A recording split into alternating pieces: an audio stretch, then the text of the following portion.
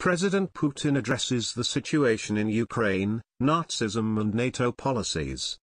Nowhere is Nazism being encouraged at a state level, except for Ukraine.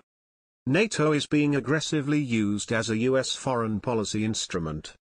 Monuments are demolished in Europe, history is cynically rewritten. The feats of those who helped bring victory in World War II are destroyed. The West condones blatant Russophobia. Russia has no problem with Finland and Sweden joining NATO, their accession bids do not pose a threat but will trigger a response.